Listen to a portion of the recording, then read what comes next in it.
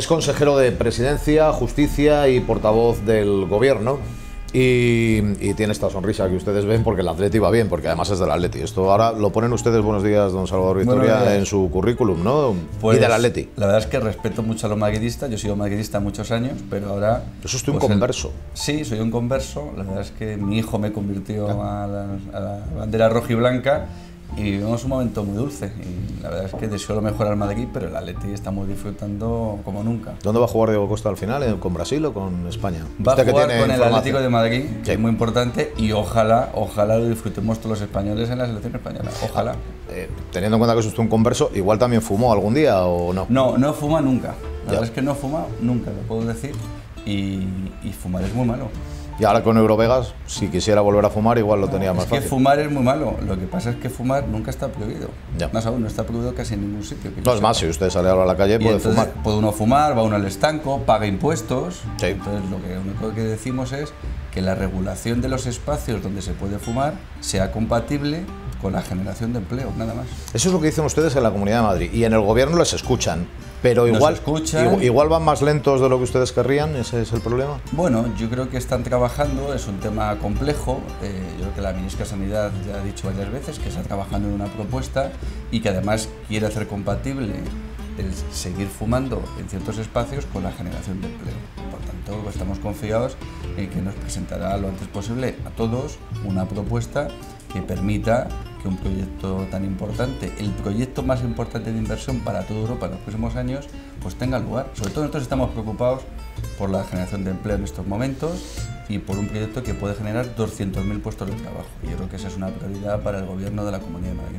Nos contaban eh, así Petit Comité que quizá antes de final de noviembre pueda haber novedad en el Consejo de Ministros a propósito de, de- de esa Pues no normativa. sé, yo la verdad es que no sé si eso es más rumorología o... Es rumor- rumorología, Por pues. eso, no lo sé, pero lo que sí me gustaría... ¿Le gustaría? Estamos pidiendo de hace tiempo es que de luego Eurovegas esté en los asuntos prioritarios del gobierno, no por la inversión de un grupo privado, sino por la generación, ya digo, de 200.000 puestos de trabajo, por la inversión de 18.000 millones de euros y por el tirón que va a tener en los servicios, en el turismo en Madrid, ahora que es tan importante la cuestión del turismo, por el tirón que va a tener en Barajas, creemos que va a tener un efecto multiplicador no solo para la Comunidad de Madrid, sino para toda España y que va a situar a Madrid y a España pues en el centro neurálgico del turismo de convenciones y de congresos de todo el mundo. Déjeme que haga un break y hable un pelín de política, no de la suya, del Partido Popular, del, Partido Socialista, ha estado Tomás Gómez esta mañana en el, en el Hotel Rich y, y le ha presentado Karma Chacón, que él todavía no lo ha dicho, pero lo tiene muy claro. Las primarias casi seguro que se va a decantar por Chacón, en detrimento de Rubalcaba, que no lo ha dicho. Ustedes son amigos, tú, Tomás Gómez y usted, se llevan muy bien. Bueno, la verdad es en que los no tribunales, sobre todo. no he podido asistir a ese desayuno, que es curioso que el diario de Tomás Gómez se presente en un hotel de lujo con sindicalistas y patrocinado por una entidad médica privada, o sea que bastante curioso y bastante poco coherente con lo que él manifiesta todos los días. Y luego Tomás Gómez, vamos a ver, eh, Carmen Chacón son los eh, náufragos de la política de Zapatero que nos llevó a la situación actual de crisis, de desempleo desconocido en altas cotas en España y por tanto yo creo que son ya una página pasada de la historia de luego su ideología. O sea, que usted, a diferencia de Karma Chacón, no le ve de futuro presidente de la comunidad.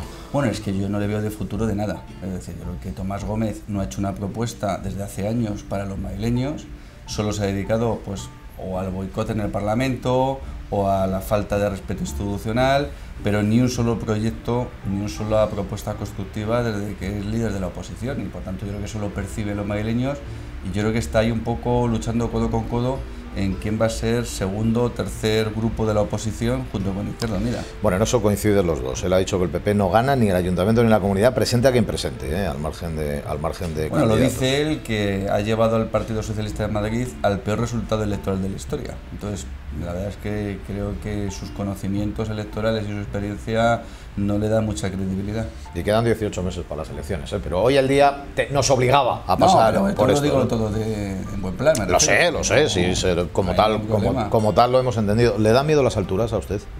Pues no, No. la verdad es que no. No tengo mucho vértigo y Bueno, le he visto con los agentes forestales subirse a un árbol. me subo donde haga falta. O sea que me encantan los retos. Pues acompáñanos a la terraza porque tenemos menores infractores esperándonos y tenemos la justicia que forma parte de su Dos temas apasionantes. competencia. Estupendo. Vamos para arriba.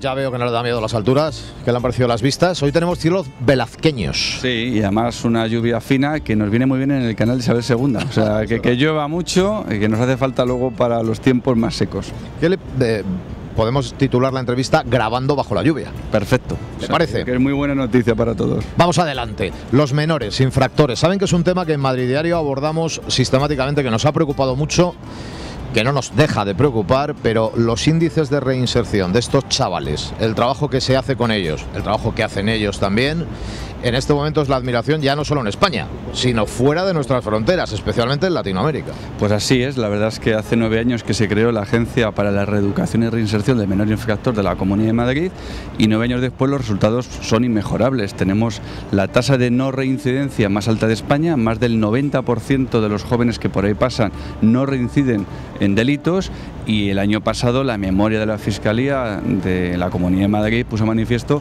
que los delitos cometidos por han descendido en un 30%. Por tanto, buenas noticias y mi enhorabuena luego a los profesionales de la agencia que hacen una labor extraordinaria con todos ellos. Además, este año hemos conseguido que uno de cada cuatro jóvenes infractores que han pasado por los programas de reorientación laboral hayan conseguido un contrato de trabajo. Y por tanto, yo creo que ese compromiso de reinsertarse, de cumplir los derechos y deberes, pues es una buena noticia para todos los ciudadanos. Hablamos de mm, asuntos sociales que están muy cercanos, tenemos que hablar de financiación, se está poniendo la cosa muy fea. ¿eh?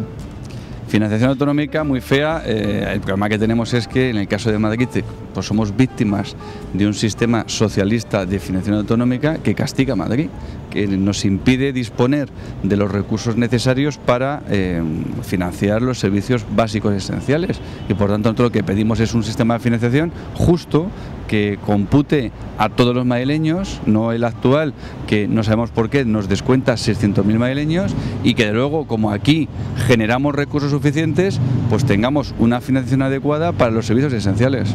Una última cuestión tengo que tiene que ver con eh, los caracoles que con este tiempo eh, salen a vernos de vez en cuando. Es decir, tiene que ver con la justicia. Sabe usted que siempre decimos es lenta. Pero es verdad que la justicia en Madrid poquito a poquito se está modernizando, está dando esos pasos. No sé si tan lentos como lo que decimos de la justicia. ¿Está usted satisfecho? Siempre se puede hacer más, supongo. ¿Cuáles son los pasos que estamos dando en este momento? La justicia es lenta y es un servicio público que no funciona a la altura del resto de servicios públicos que disponemos los ciudadanos. Y eso es una realidad. Ahora, no es cuestión solo de dinero. Y lo digo porque la Comunidad de Madrid recibió las competencias hace 10 años, ha invertido en estos años 3.000 millones de euros, gastamos con unas competencias muy limitadas el 10% del gasto total de la justicia y pese a eso no conseguimos los resultados queridos. Y por tanto hay que abordarla desde reformas organizativas, procesales, reformas también tecnológicas. Y por ahí estamos apostando mucho, por tecnología, por sistemas informáticos, por aplicaciones que hagan mucho más ágil la justicia y de luego por la confianza en los profesionales de la justicia, que de la mano de ellos seguro que conseguimos poner a la justicia en un servicio público de altura, como donde estamos ahora mismo justicia, sin duda alguna, pero sobre todo los madrileños se lo agradeceremos. Digo que corran ustedes lo más que puedan. Gracias por venir a la terraza en un día como hoy, nuestro primer día lluvioso, y ha dicho Salvador Victoria, no, no, yo subo también a la terraza de Gran Vía. Muchísimas gracias por acompañarnos. ha sido un placer. Muy amable, nosotros seguimos aquí en Gran Vía, en nuestra terraza.